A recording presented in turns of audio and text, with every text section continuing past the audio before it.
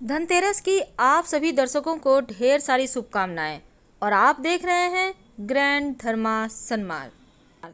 धनतेरस के दिन कुछ विशेष वस्तु लाई जही जाती है और उसकी पूजा विशेष तौर पर की जाती है। लेकिन धनिया से जुड़े हुए बहुत सारे ऐसे प्रयोग हैं जो आपके जीवन की मुश्किलों से आपको बाहर निकाल सकता है। तो धनतेरस के दिन आप कुछ खरीदें या ना खरीदें, पर धनिया ज़रूर खरीदें।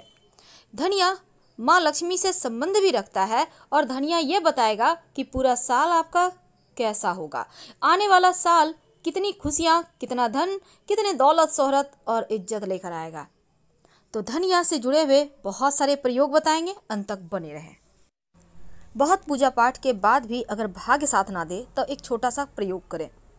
धनिया, जो कि धन को बढ़ाने वाला है और माँ लक्ष्मी की सबसे पसंदीदा वस्तु है। धनिया न सिर्फ़ आपके खाने का स्वाद बढ़ाती है, बल्कि इसका उपाय करके आपके जीवन की धन की मुश्किलों को भी आप दूर कर सकते हैं। वैसे तो धनिया का टोटका हमेशा ही आपको फल देता है, हंड्रेड परसेंट। क्योंकि तंत्र शास्त्र के अनुसार धनिया का उपाय करने से घर में सुख शांति भी आती है और धन की स्थिति मज़बूत भी होती है। हालाँकि धनिया का ये टोटका आम प्रचलन में है तो आज हम आपको बताएँगे कि धनिया से कैसे आप धन की मुश्किलों को दूर करें। तंत्र शास्त्र कहता है कि किसी भी बुधवार या शुक्रवार के दिन, अब चूँकि बुधवार इसलिए क्योंकि हरी, हरा पत्तियाँ होती है धनिया की और हरा चीज़ बुधवार से संबंध रखता है और शुक्रवार यानी सूखी हुई धनिया का प्रयोग आप शुक्रवार को करें। तो धनिया जो है ना, अगर आप थोड़ा सा लेकर किसी मिट्टी के बर्तन में, मिट्टी का बर्तन यानी कि आप दीपक ले लें एक नया वाला, दीपक भी तो मिट्टी का ही होता है ना, नया वाला लीजिएगा, यूज़ किया हुआ नहीं। तो इस दीपक में आप थोड़ा सा सूखा धनिया रखिए, एक सिक्का रखें और उसमें पानी डाल दें। अब इसको आप अपने घर के उत्तर दिशा में या पूजा स्थान में आप रख दें। दो दिन के बाद जब लगे कि धनिया से हल्का हल्का अंकुर निकल आ रहा है, अगर पानी कम हो जाए, मिट्टी सोख लेता है पानी कभी कभी तो उसमें पानी डाल दीजिएगा। दो दिन के बाद उस सिक्के को आप पोछ कर अच्छे से उठाकर आप माँ के सामने, लक्ष्मी के सामने, माँ लक्ष्मी के सामने रख दें या फिर धन के स्थान पर रख दें। और जो धनिया है उसको अपने घर के गमले में बो दें।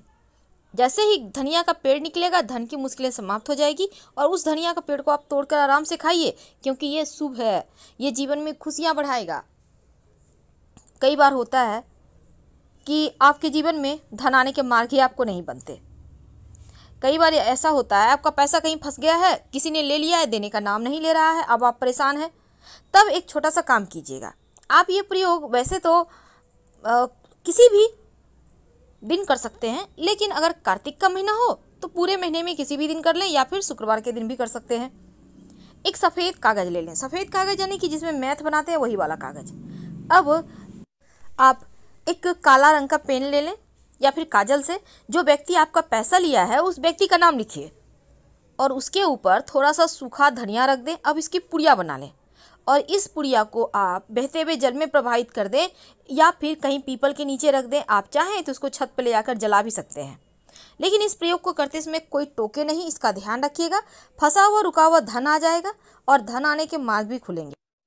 लेकिन धनतेरस के दिन जब आप धनिया लेकर आएँगे, तब जब आप सब तमाम वस्तु लेकर आएँगे पूजा पाठ के लिए, सब कुछ रखिएगा पूजा स्थान पर ही। और इसको आपको रात में जागृत करना है। यानी जब दिया बाती करेंगे, जब शाम के समय आप सब कुछ रखेंगे, जब आप कुबेर जी महाराज और भगवान धनवंतरी माँ लक्ष्मी की पूजा करेंगे, तब हर एक वस्तु पर को जागृत ज़रूर कर लीजिएगा। क्योंकि जागृत करने का मतलब है, जैसे आप पूजा कर रहे हैं, थोड़े से पुष्प, थोड़े से अक्षत उन पर डाल दें। तो जागृत अवस्था में रहेगा और फिर आप इस थोड़े से धनिया को आप जल में भिगो कर रख दें। बाकी का सूखा ही रखिएगा। और सूखा धनिया जब दीपावली का दिन आएगा तो उस दिन माँ लक्ष्मी को आपको अर्पित करना है और जो धन की पोटली बनाएँगे, उसमें भी धनिया डालिएगा। और माँ लक्ष्मी को अर्पित किया हुआ धनिया थोड़ा सा उठाकर अब किसी कागज़ की पुड़िया में बन, बनाकर आप अपने धन के स्थान पर रख लीजिएगा।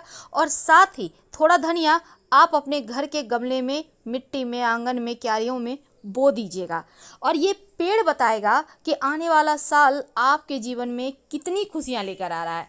क्योंकि जितने अच्छे तरीके से मोटा, ताज़ा सा बड़ा बड़ा पत्ते वाला, एकदम ग्रीन पेड़ उगेगा, उतना ही ज़्यादा धन आएगा। लेकिन अगर पेड़ उगे ही ना तब तब घबराइए मत। हो सकता है बीज खराब हो, इसमें आपका कसूर नहीं। फिर से आप अच्छी धनिया लाकर बीज बो दें, और जो धनिया का पेड़ उगेगा, उसको आराम से खाइए। ये नहीं कि फेंक देना है, नहीं, उसको खाइए, वो प्रसाद है। और ये प्रसाद खाने तीन जगह पर धनिया रखने का विधान है। पहला आपके पूजा स्थान पर एक मिट्टी के बर्तन में रख दें पूरा दिशा में।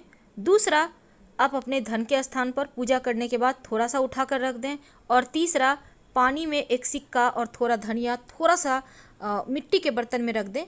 धनिया सिक्का और उसमें पानी डालकर और इसको आप गमले में बो दीजिएगा अगले दिन। आखिर धनिया ही हम क्यों खरीदें?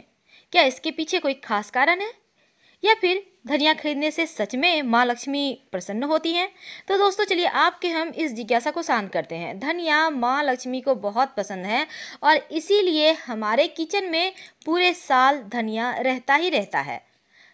इसका मतलब कि हम चाहते हैं हमारे घर में धन धान्य भरा रहे और ये धनिया के बीज धनतेरस पर लाके आप करेंगे क्या? माँ लक्ष्मी की जब आप पूजा करेंगे दीपावली में, तब माँ को अर्पित कीजिएगा और थोड़ा सा धनिया आप अपने गमले में, अपने आँगन में बो दीजिएगा। अब इस धनिया को आप जो माँ को अर्पित किया है आपने थोड़ा सा उसमें से प्रसाद के रूप में उठा के गमले में बो दें या मिट्टी में बो दें और थोड़ा सा धनिया आप अपने तिजोरी में रख लें। इसके बाद इससे जो पेड़ उगेंगे, ये बताएगा आपके पूरे साल का हाल, कि आपका पूरा साल कैसा बीतेगा। जी हाँ दोस्तों, ये सच है। अगर धनिया का पेड़ बहुत खूबसूरत निकला, एकदम हरा भरा घना घना तब इसका मतलब होता है कि पूरे साल आपके पास छक्कर धन आएगा, दिन दूनी, रात चौगुनी तरक्की करेंगे। लेकिन वही अलग अलग थोड़ा थोड़ा काश निकला तो इसका मतलब है ठीक रहेगा। लेकिन एकदम पीलापन लिए हुए अच्छा गाछ नहीं निकला तो इसका मतलब होता है कि अभी थोड़ा और संघर्ष बाकी है।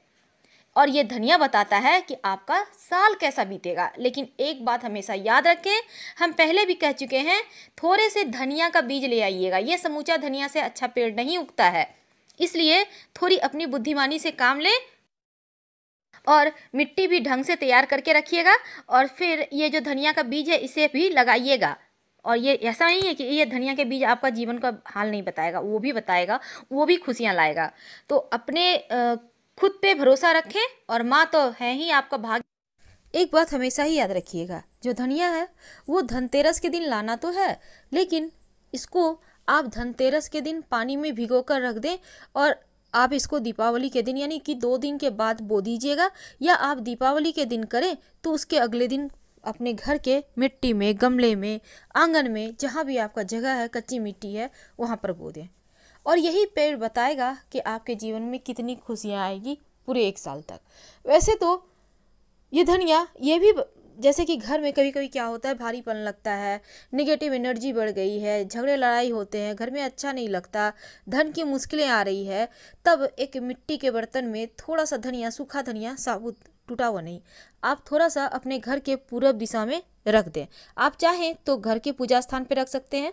ओपन होगा इसको ढकना नहीं है। देखिएगा आपके घर में खुशियाँ आती है क्योंकि धनिया जब आप ऐसे ही रखते हैं जब आपके घर में धनिया आ जाता है तो खुशियाँ बढ़ जाती है। तो हम आपसे विदा लेंगे। हर हर महादेव। थोड़ा नीचे से